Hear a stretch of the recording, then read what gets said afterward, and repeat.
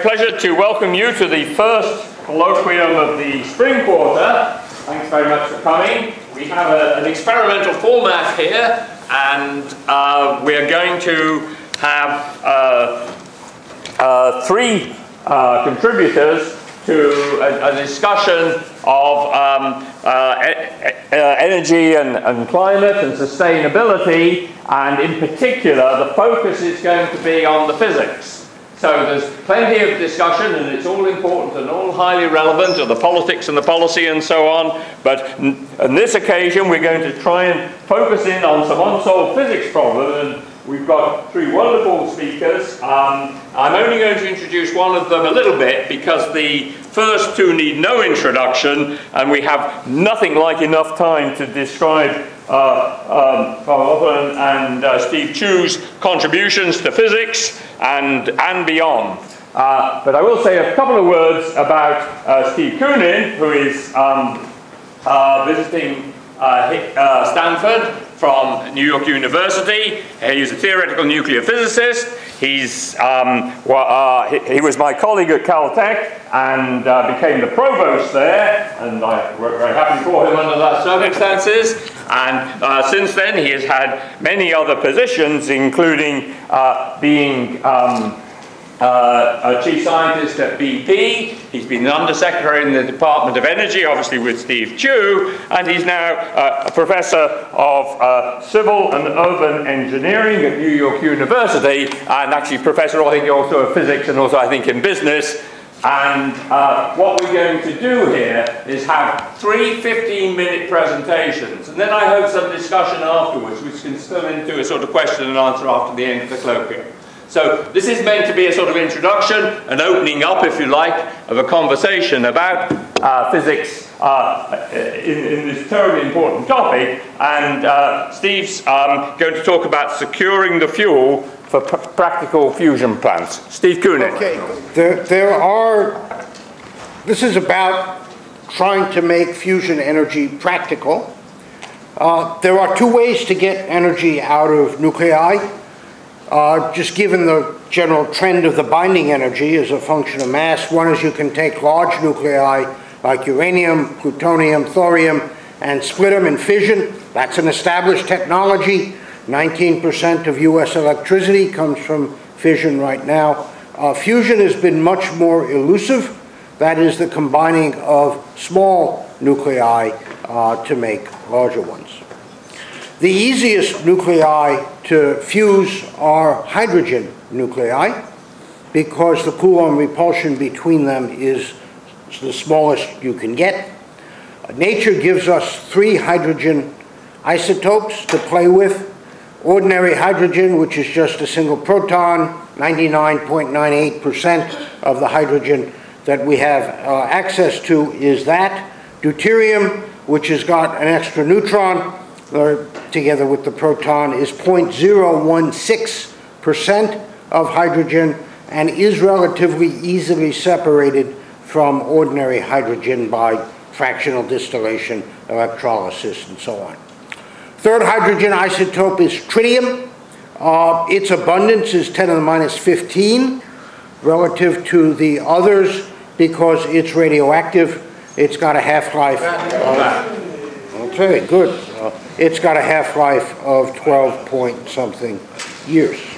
And so the only way it gets made uh, is by, um, um, by radioactive processes, cosmic rays and such on the Earth. Um, if you look at the cross sections for fusion, which is shown in that figure, let's see if I go around here. The alpha particles pretty well stop because they're charged and moving relatively slowly the neutrons uncharged and just escape from uh, the plasma. There are other losses from the plasma, uh, Bremsstrahlung from the electrons, the hot electrons, particles, heat, uh, all come out. And what you get out in the end, presumably, is some power, uh, hopefully more than you put in. The world has seen, you, you heard Omar Hurricane talk a, a month or two ago in this room about some experiments using inertial fusion, which got a gain of 1.6 in the target, namely 60% more energy came out than went in. Uh, The magnetic confinement schemes, uh, they're not there yet with the gain, they're the 10th-ish, 0.2, 0.3 gain. But the hope is that once the bigger machines turn on, uh, you'll see a higher gain. That's supposed to get incorporated into a power plant. You take some energy from the grid, you use it to heat, compress the fuel, uh, and then uh, ultimately, like most electricity applications, you use it to boil water, make steam, spin a turbine, and produce electricity. One is expecting that gains need to be about 10 to 15 in order to make this work. Again, the NIF results uh, from last December give hope that one may be able to get to enough gain to start to think about something practical. But in fact, that's just the beginning of the story. There are other factors you've got to worry about. Uh, most people have not thought about them, uh, and so I want to describe one of them, which is where are we going to get the tritium from? The half-life is 12.3 years, uh, so we've got to make it in some way. The need is daunting if you just go through simple numbers. If you want a gigawatt for a year of thermal energy from D plus T fusion, it turns out you need 56 kilos of tritium. So you're going to burn 56 kilos of tritium every year in a gigawatt-ish power plant, actually 300 megawatts if you assume the usual one-third conversion of electricity, of heat to electricity. The world inventory of tritium right now, most of it manufactured by CANDU reactors, which are deuterated water that captures neutrons, uh, is 30 kilos in total. So if you want large-scale fusion power with D plus T, you're going to have to make a lot of tritium. Tritium can be bred. We know how to make tritium by shining neutrons on lithium. Lithium has two isotopes, 6 and 7, that are stable. If you shine a neutron on lithium-6, uh, you can um, basically capture the deuteron from it and make tritium, leaving an alpha particle and a little bit of energy. If you shine a fast neutron, 2.5 MeV on lithium-7, uh, you can basically break it up into a triton and an alpha particle and leave the neutron And so the idea will be to take the neutrons from the DT fusion from the plasma itself, surround it by a blanket of lithium, and breed the tritium that way. It turns out that the um, lithium-6 reaction has a very large thermal neutron cross-section, so you've got to take the 14 MeV neutrons, slow them down, and get captured by the lithium-6. The fast neutron reaction with lithium-7 um, makes tritium and a lower energy neutron, which can go on and create more reactions in the blanket. On average, you've got to make at least one neutron per DT reaction, otherwise you're going to run out, you're going to run out of fuel. Sorry. You've got to make one tritium for each DT reaction. So we talk about the tritium breeding ratio, which is the amount of tritium that gets produced in the breeder, gets bred, divided by the amount of tritium that gets burned. And again, one tritium burn produces one neutron, which you hope will breed another tritium. Otherwise, the reactor is not self-sustaining. The world's got plenty of lithium, and in fact, if you look at the projected demand for lithium due to batteries in cars and so on, it overwhelms any demand you would have for breeding blankets in fusion plants. And so there are conceptual schemes by which you take, in this case, a tokamak, a donut-shaped confinement to plasma, and you surround it with this blanket of lithium and something else we'll talk about in a minute. If you do inertial laser beams come in and there is in the wall a whole lot of lithium uh, and lead, turns out, uh, to breed the tree. So, there's a tritium economy in a fusion power plant. as well as an energy economy. What happens is if you've got the plasma over here, you've got to send DT into it, fuel. Uh, most of the fuel will not get burned in the plasma. In a magnetic machine, a few percent get burned. The rest get exhausted. In an inertial machine, about 10% would get burned. And so you've got this exhaust which has got a lot of tritium in it, uh, over here, sorry. It goes to processing, the neutrons are going to come out, they're going to breed more tritium, you're going to add that in, and then recycle. So this is the scheme. And how much tritium you need to keep in the facility will go down if you can burn more of it up, and or you can process it faster. So there's a lot of chemical engineering that has been done both conceptually and at the laboratory scale to learn how to do all of this. The neutronics in the blanket determine this breeding ratio. How effective are you in catching that 14.1 MeV neutron and getting it to interact with the lithium? You can add some converters to the blanket. For example, if you add beryllium, then you can get, you can knock a neutron out of the beryllium uh, and turn it into two alpha particles. Uh, a neutron hitting lead with enough energy will knock a neutron out of the lead. So these are ways of multiplying the neutrons in the blanket and you hope that enhancing the breeding effectiveness of the blanket itself. Turns out lead can be alloyed with lithium. It's a pretty good uh, uh, heat removal. And so, for example, in the inertial system, you've got a lithium lead eutectic that's flowing down the walls and is moving the heat as well as breeding the tritium. There have been lots of concepts that have been analyzed. I'm not going to go through them all. Basically, pure lithium metal, not necessarily a good idea from a safety point of view. Lithium lead, as I mentioned, molten salts, and uh, the blankets, as I mentioned, can move the heat. The cross sections are not trivial when you uh, try to model all of this here is the cross-section for the tritium-producing reactions. The lithium-6 and a neutron has got a structure to it as a function of the neutron energy. Of course, the lead and the beryllium have thresholds and so require the higher energy neutrons. You really want to try to be able to model this before you go out and build a big thing. And so you need to know the cross-sections involved, the angular dependence, for example, here is the elastic scattering of neutrons on lithium-7. The capture cross-sections, here are the cross-sections for lead, I believe. Lots of structure. You need to follow the neutrons energy group by energy group, angle by angle, and so on in this complicated geometry of the blanket. People use Monte Carlo methods to do that, to understand the thermalization, capture, scattering, and so on. Key questions and this is, I think, my last slide. Can you have the tritium inventory large enough to do a cold start? So the world has got about 30 kilos right now. That's just enough to get the first fusion reactor started. And ITER is going to eat up, so to speak, a good fraction of that inventory. So where are we going to get extra tritium? It's got to bootstrap itself.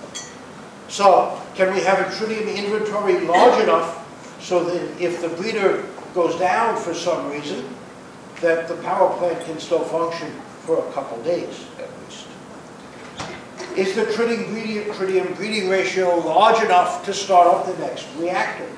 So you need a tritium breeding ratio bigger than one so that the first fusion reactor can make enough tritium to get the second one started. Right? And here's some uh, calculations. This is a wonderful reference, by the way, if you want to understand all about tritium breeding. It's really quite good. Anyway, here is the burn-up fraction. How much of the tritium gets burned in the plasma. You see it's in the percent range. And this is the required tritium breeding ratio. And you see the numbers are like 1.1. 1.2. Can we do the modeling well enough so that if we go build a big thing, uh, the tritium breeding ratio will be what we think it is? And then, of course, there's a lot of tritium in these facilities. 50 kilos gets burned in a year. 50 kilos, well, tritium is uh, 10 to the fourth curies per gram, and so 50 kilos is megacuries scale, hundreds of megacuries. And uh, that's a lot of radioactivity to have around. So I, somehow, this is a conservation of difficulty in nuclear energy. Uh, We don't like fission plants because of the waste they produce. It's going to have a lot of radioactivity in the form of a volatile gas. All right, that's it.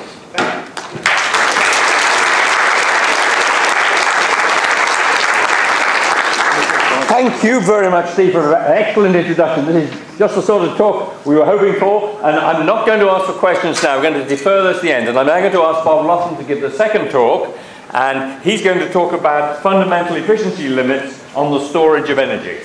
Right. All right, everybody, now for something completely different. Um, Roger asked me to talk uh, about something very applied, and he actually hinted at this, this uh, topic, and I, what I should have said, Roger, no, I can't do that, because that's not what the problem is. So I have decided to define money as fundamental.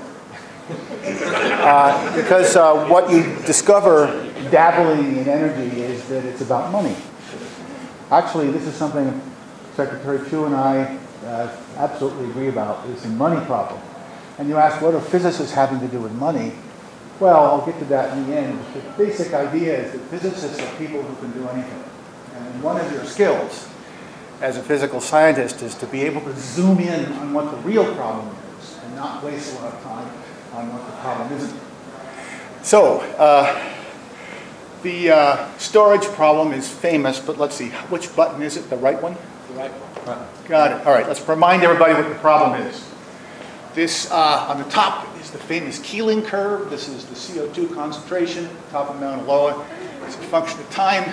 You can see the, the annual leaf out of the northern hemisphere and the slow, steady increase over time that is what's alarming everybody. And this thing on the bottom uh, from BP is the cause. The uh, total amount of carbon in this increasing budget, you can do the calculation, add it up. It, uh, it's about twice the amount in the air, it means that the other half is presumably going in the ocean. Now, uh, that's what the problem is, and uh, lots and lots of people want to deal with this problem by means of renewable energy. Unfortunately, the renewable energy is that little sliver there, and the renewable energy is growing more slowly than the growth of everything else. Okay? So, and it's worse than that. The um, about half of that yellow sliver is uh, corn ethanol, which has a fossil fuel budget that makes it a little problematic as far as, as far as carbon goes. So the growth tells you that, that uh, one could do it, as, uh, but the, uh, the challenge is formidable. Now, let's switch gears and talk about electricity in California. California is a very progressive place. This is a typical uh, uh, demand curve for the California ISO uh, for uh, some day in April 2019. It doesn't really matter. What matters is this giant bulge. That bulge is coming mostly from solar energy in the Mojave Desert, and it's a lot. Midday, it's half, half of the state's uh, uh, energy requirements. At the top, you will see the 2019 battery budget. And you'll see the units on it, uh, that it's going to 100 megawatts for brief amounts of time. So when I made this slide, the batteries were absolutely not capable of handling this, this yellow bulge. And which is to say that the yellow bulge cannot be time shifted. And so you cannot uh, work the system without, uh, without this big bunch of natural gas burning at the, at the, uh, at the, at the, uh, the, the evening hours. Now, it's improved a little. Uh, this is a uh, 2021 picture, and you'll see the battery budget's gone up by a factor of 10. So it's up, it's up to a gigawatt, okay? But it's, and it's uh, not as spiky as it was. But the time scale is still only four hours. And so it's still not capable of handling that big bulge, okay? There's this hydro stuff you know, pretty much know about. You can pump water uphill. But there's a, there's a problem with that. There's not enough of it. Uh, we'll get to that in a minute. Anyways, that's the situation now. And so this is a problem that is physical, it's an engineering problem lots of people are thinking about, and I am one of the people thinking about it. Okay? Now, uh, here is the problem. And what I want you to, this is a cartoon, but here's the basic idea. We're looking at costs, okay? And I'm, I'm uh, denominating it in costs per watt on this axis, and this is hours of storage this way. This graph obviously has two metrics. One is the intercept of the line at zero hours of storage. This is what I call the cost per engine watt. So when you build a dam in a lake, it's the cost of the dam and the generators. That's how much it costs even if you're not storing anything. And then the other number is the slope of this line, which is, uh, which is the marginal cost per stored joule. In the case of pumped hydro, that line is really flat because all you're doing is making the lake bigger. And the lake uh, is, is, nominally is pretty cheap. Yes. On the other hand, we look at a battery, the green line, and you see that's not the case. Uh, it's growing steeply. Why? Because the way most batteries work, excluding flow batteries, the engine of the battery is the electrode. It's the interface where electron transport becomes ion transport. And you can't buy more storage without buying more engine. And the engine's expensive. So uh, you're, you're kind of stuck with it. You've got a cost problem if you're using modern lithium-ion batteries. When you go out to large storage time, you're in trouble. The current crossover point is right there. Okay? That's partly due to a mandate of the state of California, but also partly of the actual physical numbers, how much batteries cost. People can't get the business models to work out here. And they can't with lithium, and they can't get it to work out here for days. So there are, there's a physics problem, engineering problem. and How do you get your technology to work out here in the sort of half a day region so as to uh, balance the diurnal uh, uh, uh, load? And then, if you're really ambitious, how do you go out to weeks? Okay? You can't do it with batteries. The numbers just, uh, with, at least with, with conventional batteries, because the cost is too great. Now, at this red thing is my favorite theory, and you see it's really good. Okay? Beating all. Why is this? Because it's my graph.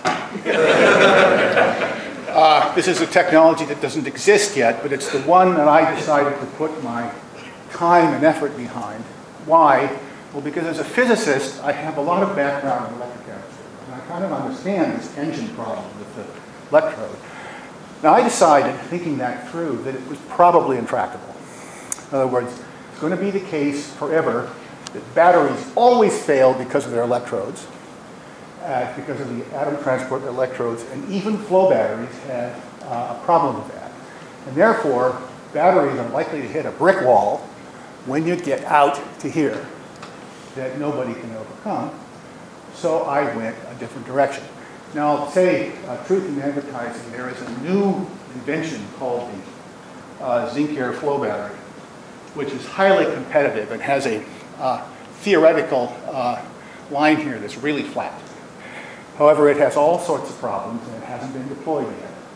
So I like to think that my, my baby is in competition with the, with the zinc air flow battery to see who will win. I think, I think I'll win, but you know, uh, the zinc air flow battery has big tanks of stuff, the pH of two. Uh, not good, all right. So uh, anyway, that's the reason, that's what's going on here in California. And I notice I have Moss Landing here. Here is one of the facilities. Uh, this one's 400 megawatt for four hour duration. Is right over here in Moss Landing. Uh, it got in the news recently because it was a new facility and also had a big fire. Uh, so California is moving very aggressively to build these battery facilities, but they're, they're really struggling to get out to 10 hours. Now, uh, I mentioned that pumped hydro is the benchmark. Not only that, there's a lot of it. Uh, in this country particularly, is about 25% of the amount that you would need to level the entire load over 24 hours. Most of it is in the eastern seaboard. Uh, but there are economic reasons why it hasn't grown. Now, one of them, you know, in the western lands, the water is worth more than the joules. so you can't, you know, you can't cost it that reason. But also, there's a land use problem. And countries that have had a lot of pumped hydro are having now big political troubles uh, with land use. Uh, so uh, pumped hydro is expensive and complicated and has political problems and government is involved. So you'd like a way not to, not to use it, all right? Now, back in 2011, uh, actually before 2008, actually, I was reading international journals and it came across, came to my attention uh, that the problem had been solved uh, in Spain. And uh, it had been solved in one particular context, which is uh, this little solar plant here. Uh, see those two tanks? Those two tanks are filled with molten salt. And the way the technology works is the solar field collects the heat during the day, stashes it in sensible heat salt, and then transfers the salt back uh, and extracts heat out at night. The reason there, whoops, excuse me, the reason there are two tanks is because you have to do delicate heat exchange uh, and also keep the salt molten. So you, the plants basically look like, uh, like uh, uh oil depot tank farms. So anyway, back then I was thinking to myself, oh my God, this works so well. It's, and it's a very popular technology. We know the cost. It's being, it's, it's being deployed lots of places in the world now. Too bad it won't work for the wind. And then it hit me, well, it will. Okay? And the key is uh, to realize that in storage, the problem isn't energy. The problem is absolute energy is conserved, people. It's entropy management and money. Okay, so it's amount of entropy generation per dollar. That's the sense, the sense of it. And so if you've decided to stash things in heat, you can certainly do it reversibly as long as you watch your entropy budget carefully.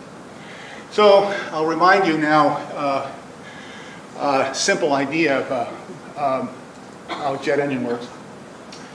Um, the, uh, you know, air goes in the compressor of a jet engine and it, uh, there's some fire in there and then it comes out and your airplane flies. I always ask physicists this question, well, what distinguishes the compressor from the turbine?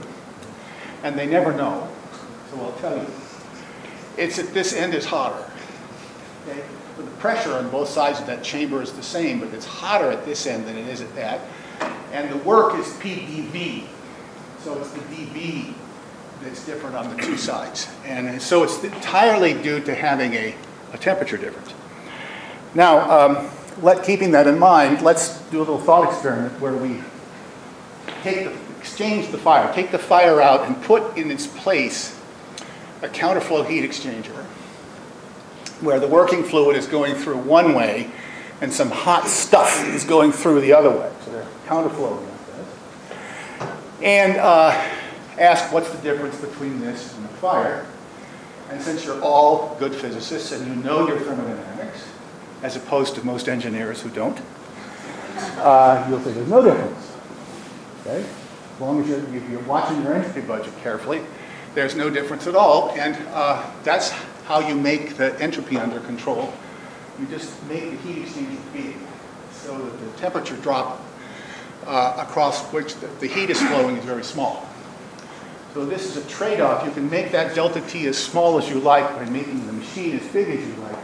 And so what you have here is a cost trade-off of entropy production versus steel cost. Now, once you got that far, uh, then you can close the loop and uh, add another pair on the cold side, and you have uh, the engine. Now, this kind of engine uh, is exists in the technology world already. It's called a closed cycle Brayton engine. Uh, these uh, kinds of engine were actually invented in Switzerland in the eve of World War II. Uh, they are implemented modern times in something called the uh, supercritical carbon dioxide engine.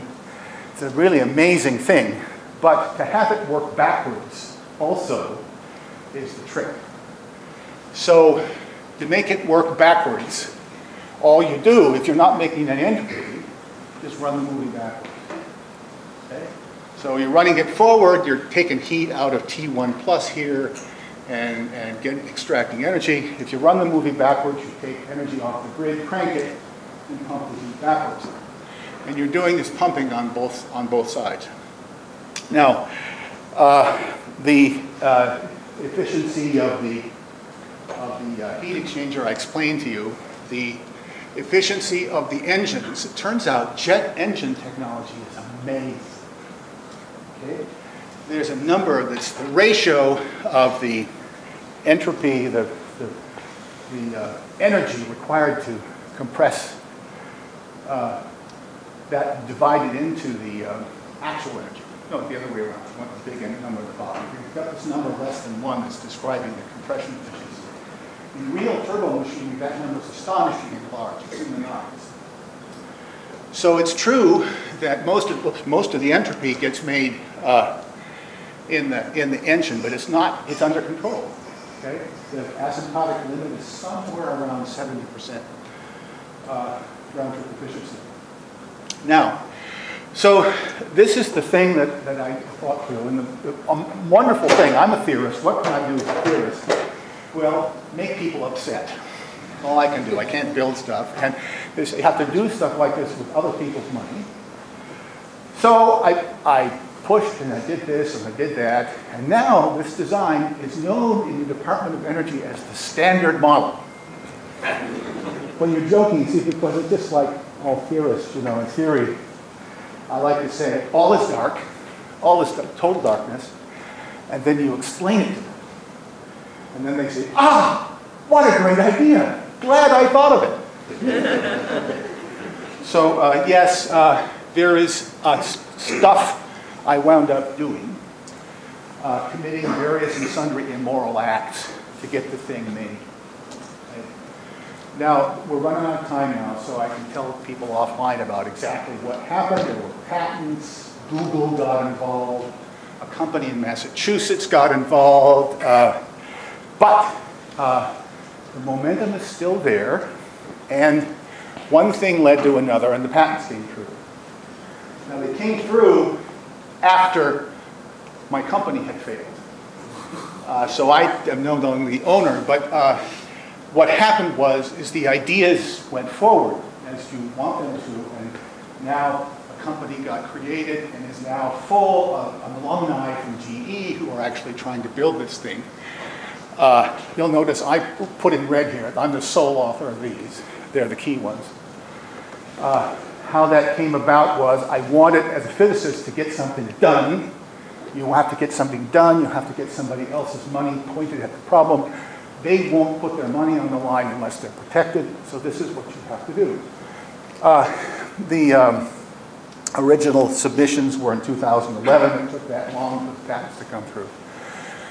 Now, um,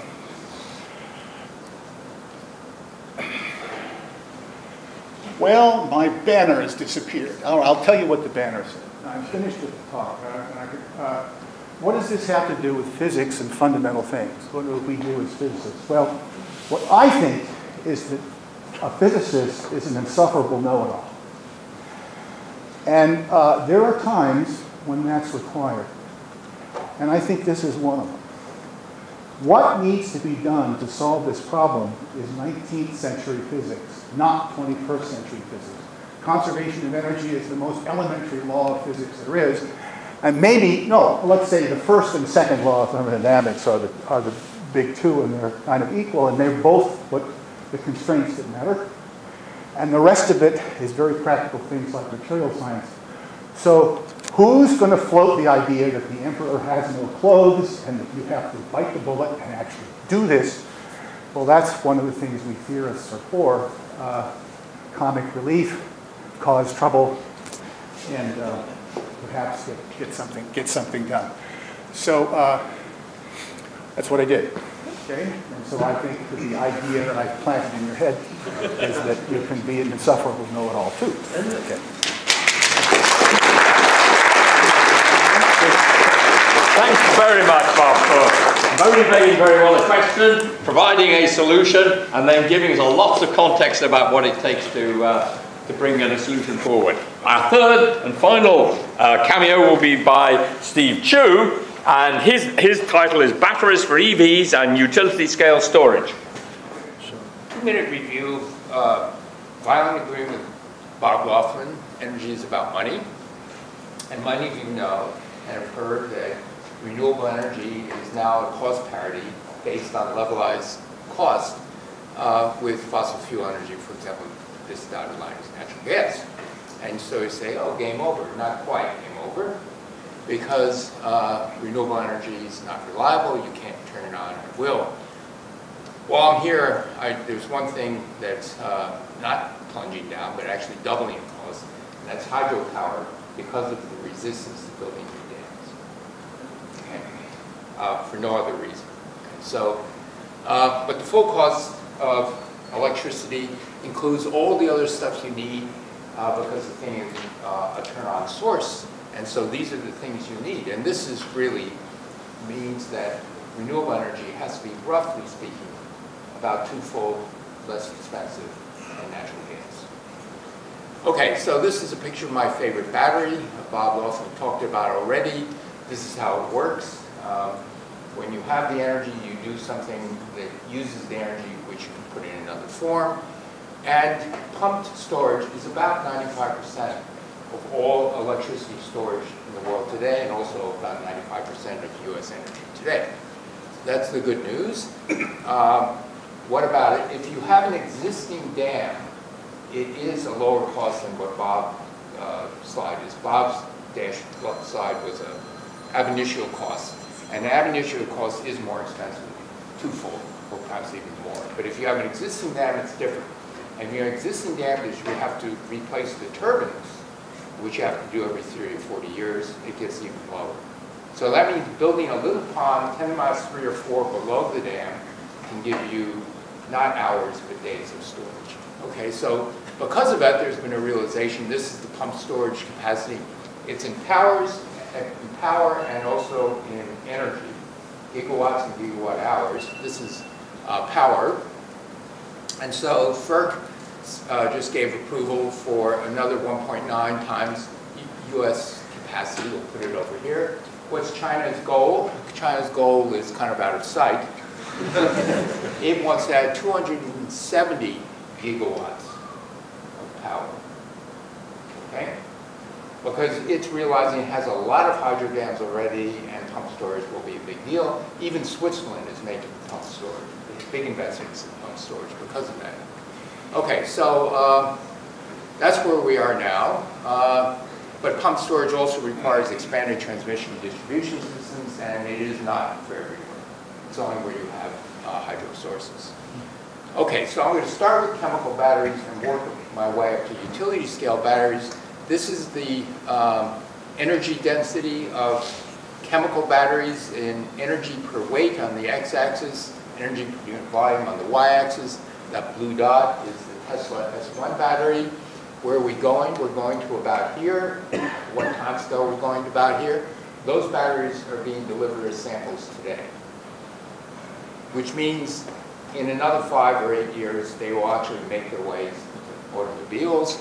And so think that the energy density will come down by uh, a factor, increase by a factor two, and the energy cost will come down by roughly a factor of two. Okay, so how do you get beyond uh, what we know today? One of the things in getting beyond that is you go to an anode with instead of lithium and graphite or lithium, graphite, and silicon, you go to an all metal anode, so it's much higher energy density. There's no overheading weight, and there's a higher uh, potential. And then you go to other materials. Instead of manganese, nickel, and cobalt, uh, you go to iron phosphate, which the battery manufacturers today are already going to today.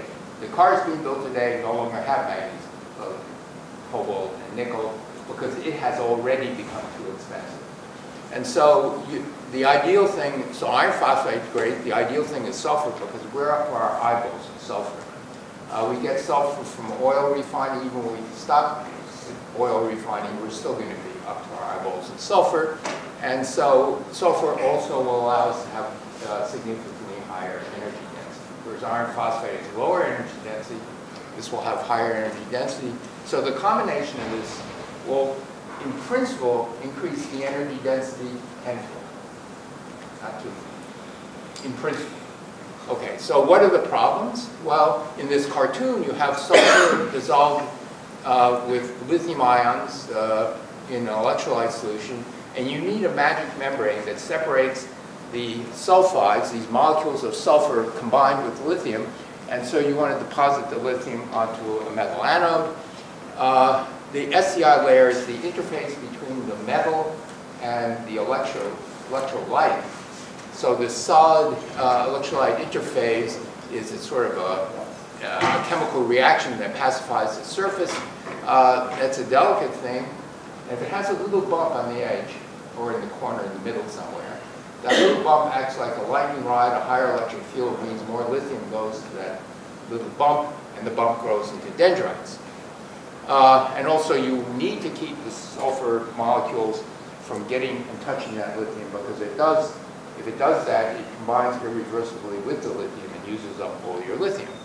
So the secret is, can you design a membrane, not as shown in this diagram, but a membrane where it just squishes right next to the metal, so there's no gap between the metal and the membrane, and this membrane allows lithium to pass freely through. It excludes all the electrolyte and the sulfur, and has a high enough Young's modulus, a strength, so those bumps never, uh, never emerge. So that's the idea. Uh, we have been climbing the East Way for nine years in various forms, and in the last couple of years, uh, Yang Kai and I have started on something, and he has joined us uh, to uh, do something which is a membrane that looks like could even work. And so this membrane was inspired by uh, earlier work we did on graphite, graphene. This is, instead of graphene, you have, instead of carbon atoms, you have nitrogen boron. And it turns out, uh, if you radiation damage this hexagon boron nitride, radiation damage means you take some ions and you dose them. Uh, we found that lithium passes through readily, and uh, you can actually see in the image on the right, uh, under, at the bottom is lithium metal. Uh, where's, where's my pointer? Uh, this is this uh, magic membrane, and over here is the SEI layer. So the, and then this is electrode stuff on, uh, electrolyte on the, used to be electrolyte the. This is an SEM image. But in any case, what you see is there's, there's no gap between the lithium uh, layer. And this is, uh, has a tensile strength equal to that of uh. So it's pretty strong. Uh, this was led, this charge has been led for the last three years by Yang Kai uh, Tseng, who is uh, postdoc mine, uh, but now a permanent uh, member of the SLAC staff. And we tried it, and we found, lo and behold, that we've tried different doses of ions, and we found that if you cycle a half of batteries and you ask the question, how many times can you put lithium on the anode, turn it back, on the anode, turn it back until something falls apart, and you see uh, that you can get a thousand times, which is uh, three or four times higher than previous work. Um, we made a real battery out of this, and uh, the battery just chugs along until this time, about 300 cycles. And, but the failure rate was not the anode. The failure rate was that the electrolyte, uh, the lithium metal, and uh, the sulfur uh, ate up the electrolyte. That was a known problem, and so we're beginning to work on the electrolyte as well, but uh, uh, it seems to work uh, pretty well that way. In terms of coulombic efficiency, now, how do you measure coulombic efficiency? The way you measure it is you first deposit lithium onto a metal, and then after you've stabilized things, and then you just go back and forth, back and forth, back and forth, small cycles, and then finally you go this. This is called the Aurbach method. So it establishes how good it can be. And this Coulombic efficiency is 99.91. Uh, Best previous Coulombic efficiency was maybe 99, doesn't sound like much. But what Coulombic efficiency do you need? If you think of cycling back and forth, back and forth, you probably need 99.98. So you don't complete the lithium and to get a thousand cycles or so. So, so we're getting there, uh, which is good. So this is a dramatic improvement. Uh, we are also trying to use other, these are chemistry, biology methods, not physics methods, uh, but we can actually uh, do this cute thing. This is a fluorescent molecule, and it turns out if the lithium enters into this pocket here, there's an electron transfer that turns this molecule on into fluoresces. So you can actually see where the lithium ion goes in, in, in operando batteries in, in electrolyte solution. So we can borrow some techniques from biology and even single molecule biology to see this happening. Uh, well, I'm missing a slide, but it doesn't matter. Uh, this is been shown, oh no, maybe it does matter, but it doesn't matter. So here's the problem. Full disclosure, uh, the quality of our supplier of uh, commercial, where you put down money just buy this stuff, and uh, it's changed and the coolant efficiency has declined. We started making our own, and then the precursor declined. And so suddenly these great results, instead of getting better, started to get worse, which means we are now in the business of making hexagonal boron nitride. Uh, preliminary results, and hopeful we can make really good stuff, but it remains to be seen. So that's not atypical of material science. The only difference is uh, I'm telling you it doesn't work all the time, and most material scientists don't tell you. this is a wonderful picture of how you can use this technique of a lithium ion coming in and it fluoresces. This was done where a proton in water actually comes onto a similar dye molecule and it begins to fluoresce. And in this hexagonal boron nitride crystal, those little dots of light are defects and lithium, uh, protons rather, coming in and hitting the defects back and forth, back and forth. So we can take motion pictures of this. We can get a sense of what the defects are doing. Okay. Now, the original picture I had was that the ions would come out and would just knock a single atom out of the way, and there would be a single atom vacancy that would let lithium ions through. But of course, that's not really what happened. happens. What happens is the electrons of the argon ion collide with the electrons of boron nitride, and they make much more damage. So what is filtered, and when we look, we can only find defects that have one or two, three or four displacements of atoms. So what's really happening is the lithium ion goes through a hole, and it goes sideways in the, between the planes of lithium, of the, between the planes of hexagonal boron nitride, a fraction of a nanometer, gets another hole, goes sideways, gets another hole. So the filter is actually transport sideways, okay? Which is kind of cute. Uh, now, another quick problem. Uh, how long will lithium last? Uh, it's, uh, the price has gone up three or four fold. It's now coming back down. Uh, mentioned before, there's not enough copper nickel in the world to replace, to be the supplier of future EVs. Already see this. Uh, there's not going to be a copper shortage as well. And the solution to that is not find more copper mines. Yes, of course you find more copper mines. The solution is physics. It's the resistance goes as V squared over R. If you double the voltage, you use a quarter of the copper. So EV makers are going from 600 volts to 1200 volts to make the car lighter and to save money on copper. You want to do this with all internal buildings as well. All the wiring in buildings should go to very high voltage to the last socket. Okay, and so there are physics ways of thinking about this that are very helpful, but uh, there's not enough cobalt in the world. Well, what about lithium? Well, it turns out lithium is about as abundant on the Earth's crust as nitrogen. So it's really, uh, how do you get it out economically and without polluting? And so this work began when Chong Liu was a postdoc, uh, co-mentored by Yi Cui and myself. uh, recently we published a paper, and she showed by working a half a battery, you can actually take seawater that's 20,000 to 1 molar concentration between lithium and sodium, and you can get uh, roughly 50-50. And with salty brine water, which is very abundant, you can get 95%. She's continued to do this, more deeply understood what's going on, and now she's, uh, she says that the recovery ratio is about 10 to the 5, which means you start with this really ridiculous uh, value of seawater ratio, and she can get uh, 7.6 to 1.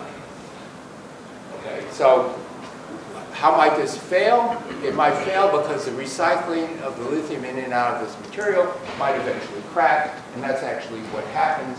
So she's working on to prevent that from happening. Meanwhile, uh, we're trying to do something else, but before I do that, we want to get to utility scale batteries, because this is the real question. Uh, there, the chemical batteries and lithium ion batteries, there's not enough lithium for utility scale. There's enough uh, lithium for EVs all around the world, but not for utility scale. And so uh, Bob Laughlin mentioned zinc air, but certainly you get away from lithium, you go to metals like zinc, iron, manganese, it could be air, or you can start with aqueous solution. Uh, and we ask the question, can this magic material, which seems to work with the zinc battery, work for these other things? And the answer is yes, because the ionic radius in the water of all these ions is the same. So what happens is you have whatever electrolyte you have, you have the magic layer. As the ions go into these holes and go across, they're stripped of the uh, water shell around them, and they're roughly the same uh, concentrations, so they too will be filtered out and slip around. So, so that's the hope. Um, what else can we do? Can this magic material be used to get even better, uh, a more durable lithium ion separation? So imagine seawater was full of this stuff, and you pass it through this membrane, and suppose you get a factor of 5 or 10 increase. It's Not perfect. Well, a 5, let's say 10 increase from 20,000 to 1 gives you 2,000 to 1. So what do you do? You pass it through again. You get from 2001, you get 21. You pass it through again, and just like uranium isotope separation, doesn't have to be 10 to 1, even be a few percent. After several layers, you get high purity. The beautiful thing about that is there's no wearing out of the material. And so we're going to be trying this. So uh, I'm going to leave you with, uh, we have equally exciting ideas exploring how to radically, a radical different approach to CO2 capture and methane capture. And uh, for those in the audience who want to change your career. And so we will uh, consider people, especially physicists. Thank you. Thanks very much, Steve, for uh, uh, another fascinating ins- insight onto a di- different approach to an equally important problem. This has been great. Um, we- we're running a bit late, partly because of technical problems. Georgia, should we go? Can we go on for a little bit longer? Do you think? I would think so. Yes. So, so good. So if anybody has to leave, no offence, go. But I'm going to ask Steve and Steve and Bob to come up, and we'll. Uh, I, I'm going to start by asking them one question, and then then we'll open it up to the audience, and then there'll be time afterwards to assemble at the front and ask more questions. So the question I'm going to ask, which Steve sort of started to answer, was if you had a second talk to give, what would be the, the physics problem you would include? So why don't Steve Chu answer that one first? Just don't give the whole talk, just say what it is. Don't know, it would probably be uh, looking for a solution to the materials problem uh, for both fission and fusion, but fusion will not work uh, because of the materials problem, the neutron damage problem, the scraper problem. And that so far appears to be un- not solvable. Okay. Bob, what would you say? Ask him. Ah, okay, all right, I Steve. still think. So, so I wouldn't work, I would not mention a physics problem, but a physics-like approach Yep, to an yep. important problem. The reason that the emissions keep going up with time, as Bob showed, is because most of the world is energy poor and they need energy and fossil fuels right now are the most reliable and convenient way to get them. What you see when you look at developing countries is a monotonic and almost universal increase in energy with GDP. It turns out it's about six megajoules per dollar. And the physics question is, why is it six megajoules, not 60.6? If you can understand what determines energy use during development, maybe you can modulate it by working on the appropriate technologies. Okay, that's the answer. Bob, how about you? I have to ask, uh, if I ask a second question to ask that was physics related, it would be, um, how do you segue from um, purely technical questions to ones that have a money aspect? Um, And this doesn't sound like a physics question, but I think it is, because, uh, for the reasons I said in my talk, that, that what physics is really all about is getting to the bottom of things. Now, uh, that um, uh, has many aspects. Actually, uh, GDP per dollar of GDP per joule is a very interesting one. But the, uh, the um, uh, but I think the open question is whether uh, rational thinking about these problems can have any effect on the body politic. Um, now, I, I, he's caught me up, uh, off guard on this question. I, I think that's what I suggested is probably a bad uh, topic for a talk. Uh, but um, anyway, that would be my answer. Yeah, okay. And, well, the empirical evidence is that physicists haven't done too badly on Wall Street. Um, so, uh, open it up for questions for our three distinguished speakers.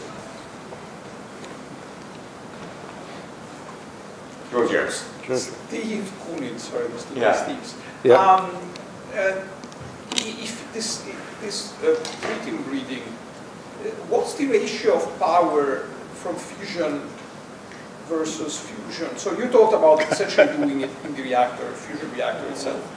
But you could imagine an economy where you have both, I mean, we have fusion reactors anyway, and you could optimize those to make tritium like you do in military reactors, but then, and then the two things work together. So, so So, what's the power, you know? So we do make uh, tritium in uh, ordinary fission reactors. The national security apparatus does that because we need tritium for nuclear weapons. A good reactor, uh, well-designed, will make a half a kilo of tritium a year. Okay, I see. So, no, you need the fast neutrons, it really. More questions? Um, why are we not losing tritium? Basically, hydrogen is not all gone because it's in water. Uh, what are we alloying or what are we making compounds of, with the tritium so that it doesn't just float away? Well, it's not that it floats away, it disappears because it's radioactive. It emits a beta ray and turns into helium-3 with a lifetime of 12 years, or a half-life of 12 years. Um, Tritium will make all the same compounds that ordinary hydrogen does. You can have tritiated water, uh, tritiated biological molecules, and so on. In that sense, it's hardly any different than ordinary hydrogen. Okay. Doug. Um, I'd like to hear sort of a resolution between some of the things that Bob said and Steve Chu said. In the sense that, okay, batteries will not work because the slope is too high, yet there's all these new battery designs, etc. And so, can you please Can I, chat about can I that? go first? Okay. Uh, Look, you're, the- you're, You go first. no, it's just that, it's just that, okay, I- I'm champing it a bit on this one. What we see in the markets is that the EV use of batteries is going to dwarf all other uses. And so when, when people are making investment decisions about various kinds of batteries, they look at the vehicle market only. Everything else is in the noise. Now, you know uh, that the electric vehicles have a distance problem. And uh, so that's a research problem. Can you beat lithium uh, to get distance? You'd like to beat lithium in price too, um, but it's already pretty cheap. So the, I think, I think the problem uh, for new batteries is entirely in transport, and it's in getting the range of the cars bigger. Um, Lithium batteries today are about 4% of the cost. Uh, I would agree with Bob that lithium batteries for utility scale can only be a, a small part of the solution, a part of the solution. It can't dominate. I personally think that pumped hydro with existing dams will be the majority of it. Uh, the Bob's wonderful idea is limited by the temperature differences you can work in and, and the temperatures of the steels. If you can raise those temperatures by a few hundred Kelvin, his definitely becomes good. But now, so I looked at the batteries and said, can you change the boundary conditions? Batteries are becoming twofold cheaper, probably from that graph being made. Can you make them three or fourfold cheaper? That just lowers that slope by twofold fourfold. Okay, at that point, it's anyone's game. And then it becomes a materials uh, problem, and that's why I started working on materials. because you want the materials to be so abundant, so cheap, uh, that it never becomes a rate limiting step. It remains at a few percent of the total cost. Can I weigh in uh, just on, on batteries for grid scale storage? You know, the idea is not necessarily to have storage to back up the renewables, but some dispatchable energy source. And for me, Iconic is a set of papers that my colleague, my friend Nate Lewis at Caltech and Ken Caldeira here did, where they took real wind and solar statistics over 40 years and asked what's the right mix of nuclear batteries, um, uh, gas with CCS. And the batteries surprisingly come out to play not very much of a role when you try to optimize cost and meet all the demand. I also weigh in a little bit? You know, we haven't talked about fission. And the rejection of fission because of the waste issues, uh, because of the possible contamination issues, this is technology we know better than fusion by a long shot. We can make reactors that are essentially going to be non-contamination proof. Uh, we, I think we can cure the storage problem by having automated boring uh, so that you can go a half a kilometer deep and sideways. So you don't really, it's like the difference in cost between uh, human space missions and non-human space missions. It's going to be huge. And then finally, the capex problem. You got to use this thing 100% of the time. But we're looking for storage that works 5 or 10% of the time. So we have what's called an energy market, where natural gas generators are only used 5% of the time, but they're profitable because they get to charge 100 times more uh, for the energy. Because you're in a time when you really need the energy and you get to charge what physicists call the short hair price. When they got you by the short hairs, you'll pay anything. And so what happens is you can use nuclear to desalinate or to make hydrogen, which we didn't talk about, which is also going to be part of the solution. And the rest of the time, you know, the 5% of the time, you supply, you know, the emergency power. And so this is a, this could change the dynamics of nuclear if you can build them at the cost of pre-Three Mile Island costs. $8 a watt. Tony, say that again, Steve. $8 a watt. Eight dollars a watt, okay. Capital, So I get to weigh, before, before, I get to weigh in too. Yeah, It's well known in nuclear physics, one of the, one of nuclear engineering in the, in the, uh, that um, all the energy comes from fission. And that's the reality that you have always when you're doing nuclear engineering, that the, the fusion reaction is 17 MeV, the the fission reaction is 230, and it's much easier to control. So when you're counting joules, fission wins by miles. And that's all, that's going to be true forever. Now, uh, it's a, Steve is completely correct. It's a terrific technology. There is a uranium supply problem if you try to up the amount of, uh, of, nu- of fission energy to supply the world budget. Um, There's, uh, there are technologies in the wings for supplying uh, kilograms of, you know, requisite kilograms of uranium at cost. Uh, But at present market prices, uh, you couldn't do it. But the good news is that the fuel in a nuclear reactor is a small fraction of the total cost. Yeah. Right, so if the fuel doubled in price, uh, not This such is a all big true, impact. it's all true, but of course, if there's not enough fuel, what's the price going to be? Well, and, and, and we only use one percent of the energy content if you include the U Yeah. two thirty-eight. Uh, it's going to go to two percent, and, uh, two years before the lithium paper was published, we published a paper on how to get uranium out of seawater. Seawater, yeah. Uh, that, there's enough uranium in seawater for sure, uh, but it's not considered important until the nuclear industry restarts. Yes, okay, yes, I thought, let's have another question. Thorium too, I think, but, uh, yeah. So, The, uh, before I came here today, I would have thought that if it were not for social factors to do with fission, that fission would, nuclear fission would sort of win this, be, be the way to go. Could could you comment on that?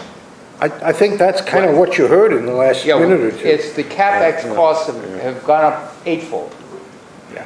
Okay, and that's a killer.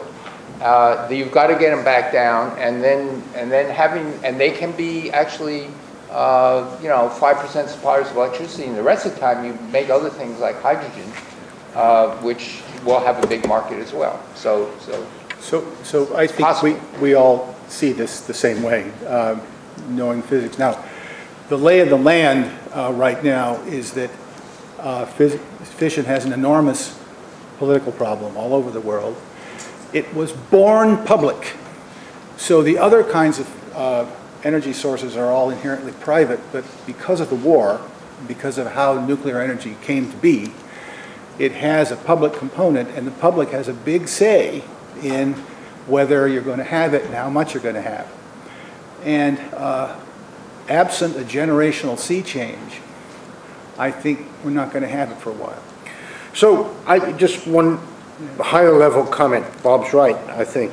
Um, When you listen to what Steve was just saying, uh, it's a systems problem. There is no single bullet, and you've got to look at the interactions among the transportation, the renewables, the storage, and optimize the whole thing.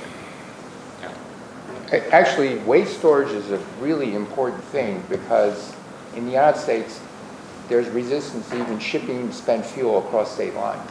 Yeah, yeah. And, and, and so just getting over that hurdle means that you want to actually look for new methods locally with deep boring methods locally. Otherwise, you've still got a problem. Yeah, other countries may respond differently. Giorgio, I think you had a question. Yeah, because I mean, this is actually, I mean, this is a maddening issue, right, of, of, of fusion energy or, uh, and, and it seems to me like we should just be investing 10% of the R&D money that goes into, doing, into Or social engineering or whatever you want to call it.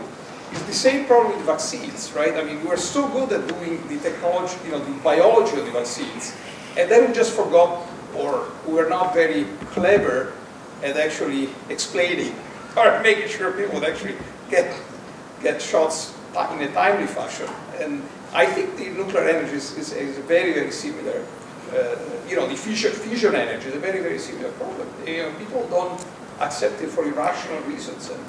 Slowly, slowly, you know, Europe just in the last few months declared fission was acceptably green, and... It's hyd- true, yeah. the Green Party in Germany decided that Yeah. nuclear energy Yeah. was green. Yeah, So let, yeah, uh, uh, Governor Newsom ra- ran on that he was going to shut down the last two nuclear reactors, at Diablo Canyon.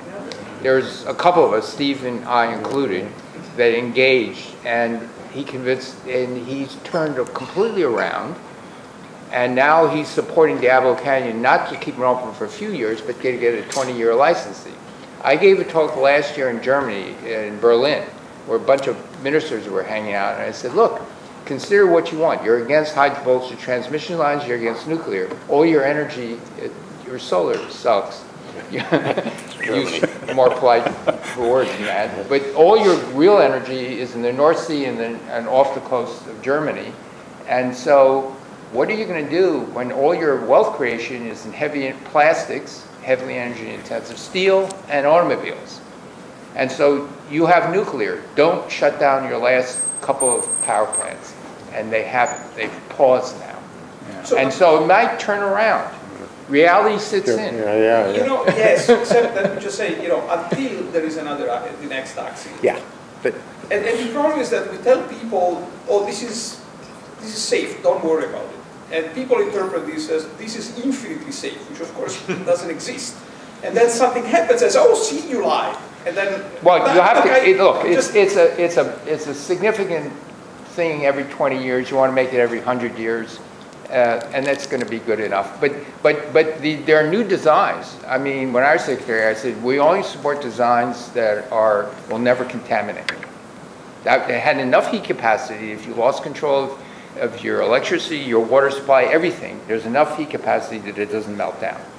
It's possible to make reactors like that. Question on that?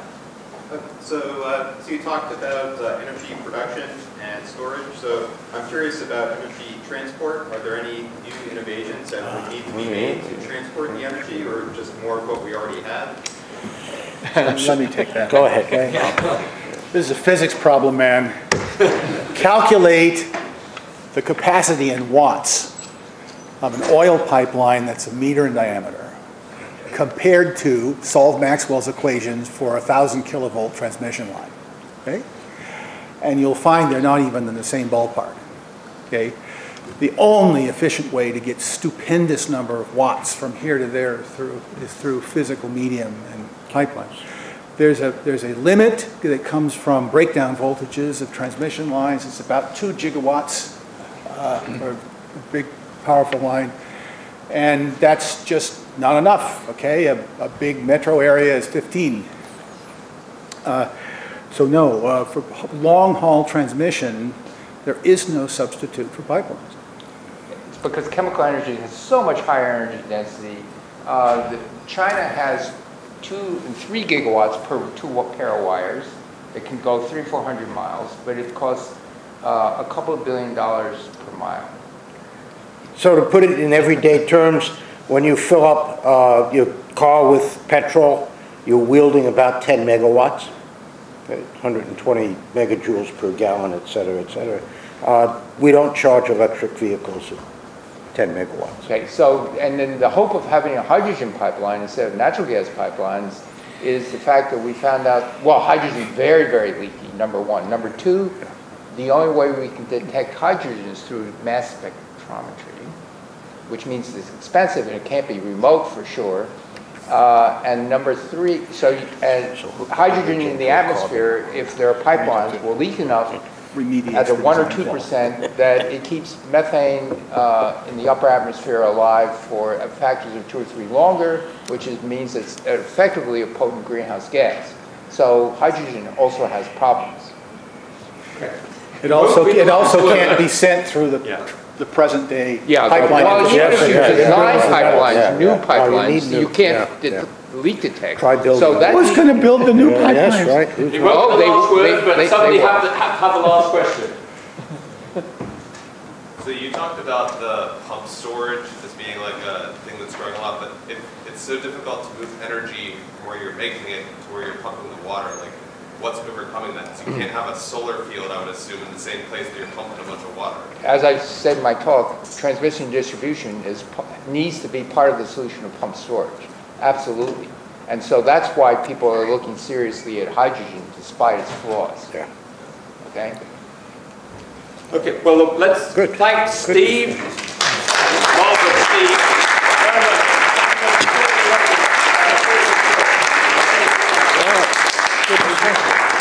Thank you. We'll repair to the physics, uh, there's a physical refreshment. It was good. Good, Steve. It was great. Good discussion. It was good. I think people learn stuff.